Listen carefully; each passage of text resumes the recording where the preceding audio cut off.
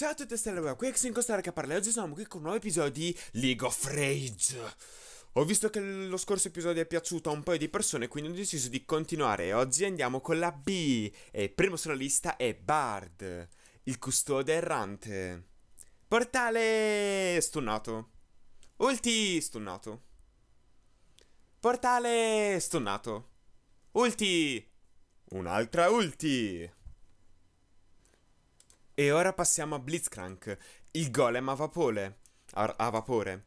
Bene, voi non importa cosa siete, se siete challenger, bronzi, non importa perché in un modo o in un altro, quando giocate Blitzcrank, arriverà sempre, e dico sempre, quel grab che non ti aspetti, quel grab che ti stuprerà altamente. Osservate qui questo bel Lucian, tutto cauto, brum!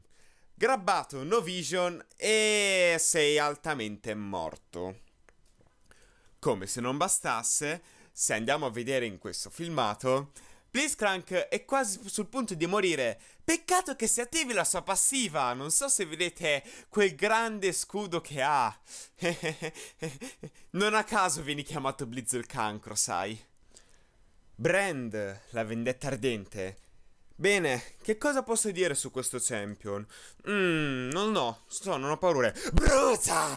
Brucia! Brucia! Bruciate tutti! Brucia! Brucia! Brucia!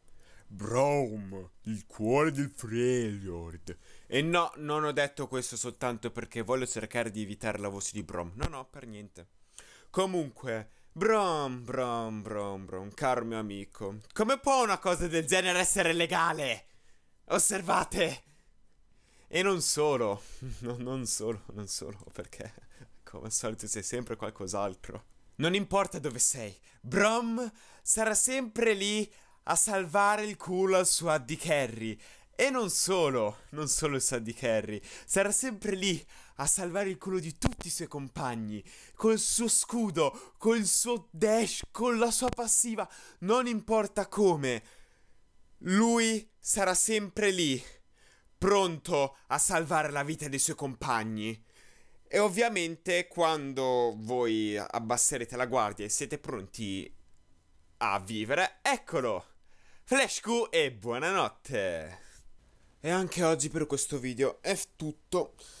Uh, giuro che mi sono distrutto la voce a fare la voce di brand, però ne è valsa la pena. Spero che sia la parte che apprezzerete di più del video, perché ci ho rimesso la mia gola, sapete. Io ci tengo la mia gola perché... No, aspetta, se lo dico così potreste pensare che utilizzi la gola per ringoiare dei certi liqui, liquidi bianchi che fuoriescono dall'organo riproduttivo maschile e non ho idea di, del perché sono andato a parlare del pene durante un video del genere. Mm, forse dovrei smetterla di fare disagiato. Who cares? Iscrivetevi, lasciate un mi piace, lasciate un commento e noi ci vediamo con un prossimo video. Bye bye!